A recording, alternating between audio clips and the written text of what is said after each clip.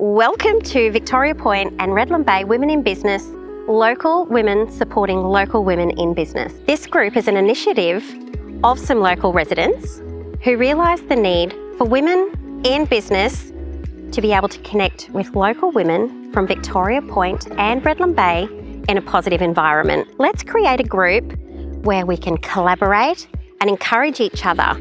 We can share each other's successes and support each other in business. I'm so excited to have you here.